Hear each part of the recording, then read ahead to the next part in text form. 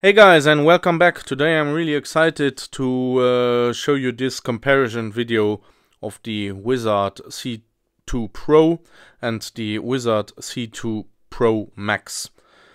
A few uh, months ago I already showed you the C2 Pro which is a really nice multi-purpose flashlight and um, this one is pretty much the same expect for two points. Uh, we have 4000 lumens uh, compared to 2300 lumens. And we have two months of runtime compared to 200 days of runtime. So uh, what's the difference? This one runs with a 21700 battery. However this one uses an 18650 battery.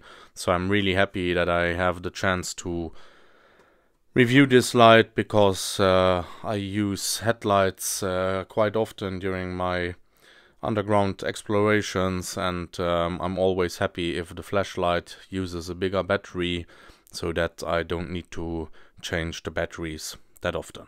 So, would say we take this one aside. Later on we will have a slight comparison and I also will uh, compare the two lights outdoors so that you can have a nice uh, idea of the warm white light from the C2 Pro and the cool white light from the C2 Pro Max.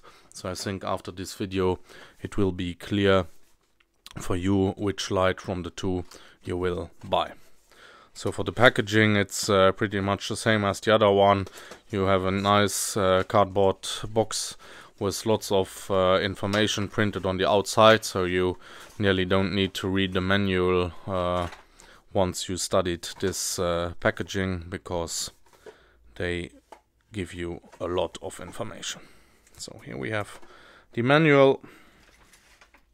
We have a little adapter so that you can also use 18650 batteries inside the flashlight. That's pretty cool. We have the magnetic charging if you don't want to take out the battery out of the flashlight to charge. And then we have a quite sturdy handlebar mount for bicycles or other uh, vehicles. Really nice quality head strap. It's the same as for the C2 Pro. Uh, except that the holder here is a little bit wide, wider as the flashlight is also slightly bigger. Then we have two spare O-rings and a clip.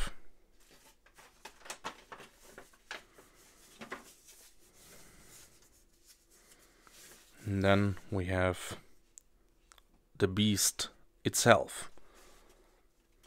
It looks a little bit like a C2 Pro on steroids. It's really, really big.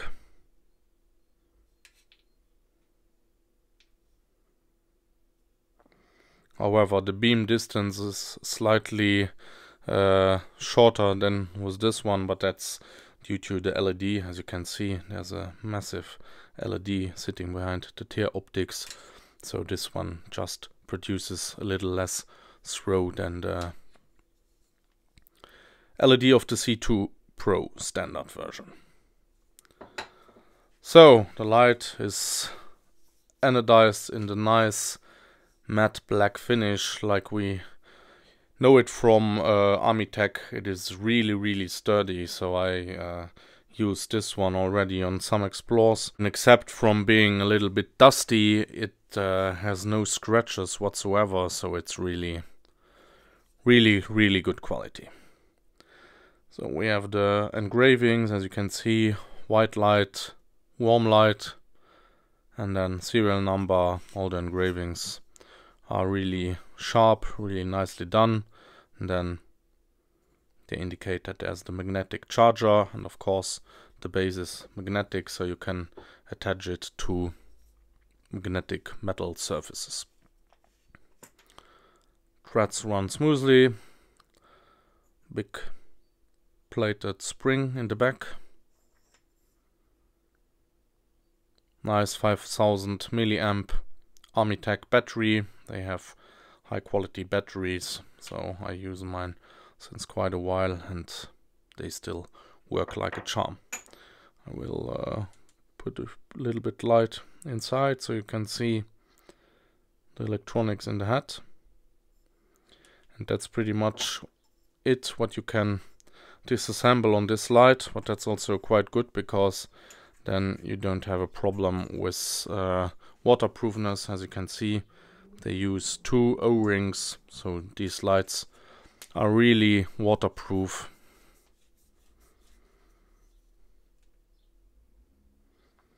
Nice, cool white LED compared to the warm LED of the C2 Pro. I prefer warm light, but there's more people that prefer white light and I thought it would be cool to do a comparison of the two with the two different light colors so that the video has more utility for lots of people out there. So let's have a closer look at the manual. It comes in English, German and a few other languages. Uh, in this manual they don't give you uh, any technical information. There's little printed on the box but not uh, all of it. Uh, here they only tell you how to access the general or advanced type. So the light has two different modes. The general type is uh, easier with uh, six modes and the advanced uh, modes offer uh, 10 modes. I'm not going into the details of these operations as I have explained it uh, detailed fully in the video of the C2 Pro. So uh, I will put the link underneath the video in the comments in the video description so that you can uh, have a look at the video if you want to understand the complete functions of this light.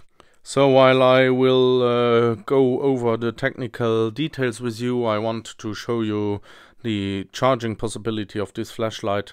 You need to pay attention if the flashlight is completely uh, closed and is working. If you connect the light the red LED is blinking. This means you need to loosen the tail cap a quarter of a turn. Then the green indicator is blinking. It is checking if uh, it is checking the voltage. Here the battery is already full.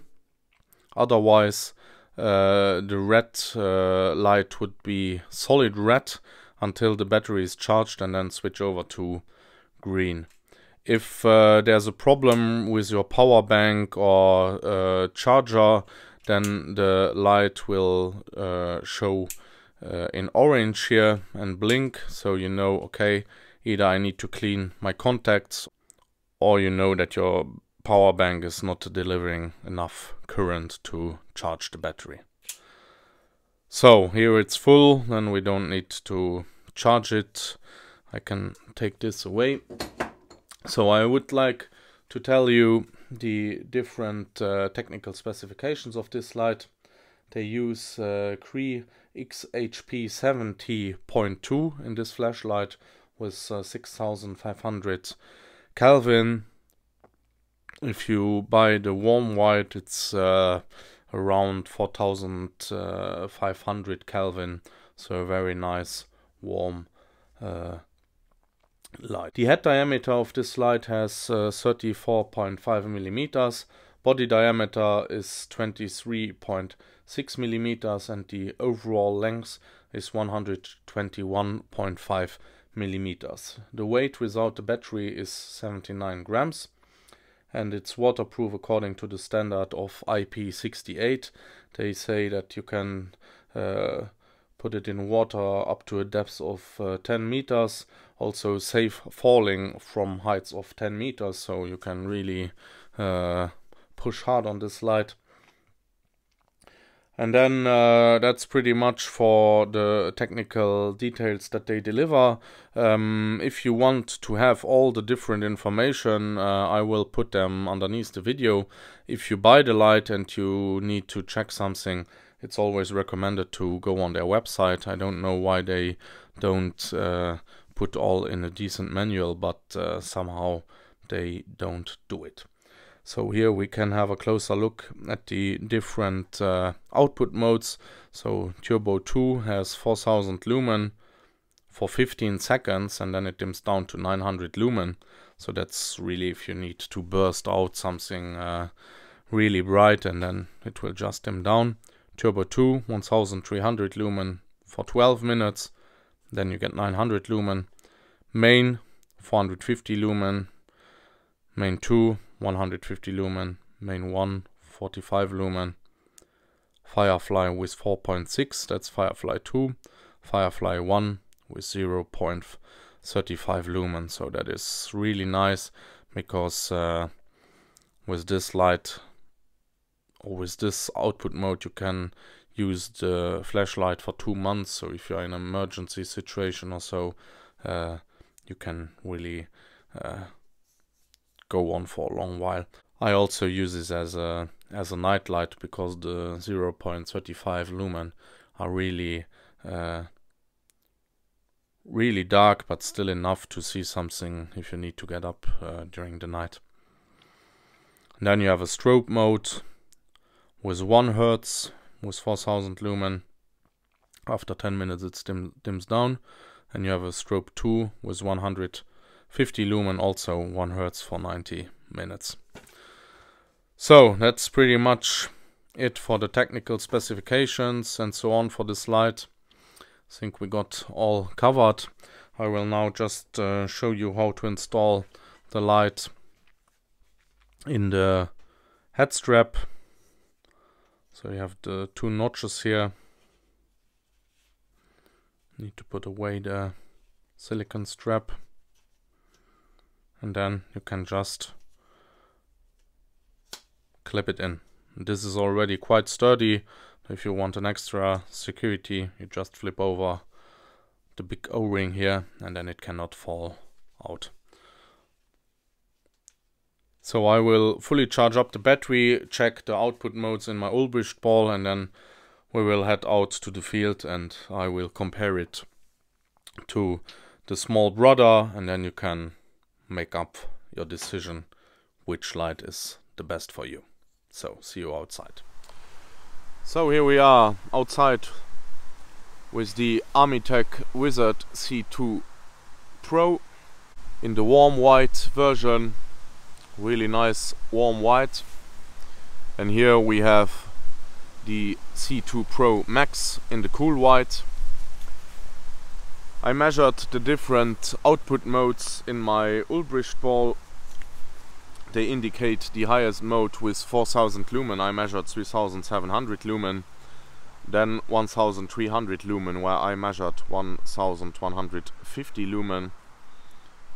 The 450 lumen mode I measured with 366 lumen and the 150 lumen mode with 131 for the ultra low or the moon mode which is indicated with 0.35 lumen. I measured 0.43 lumen.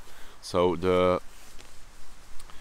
lumen indication are quite accurate. Um, it's a really nice cool white. So uh, yeah is the warm white again. So it's really up to you which light you prefer. I like both but I prefer the warm white. So I hope this uh, video gave you a little clarity about the differences between the two lights. If you still have questions don't hesitate to put them in the comment section. And as always I would really appreciate if you would subscribe to my channel and leave a thumbs up. See you soon guys. Bye bye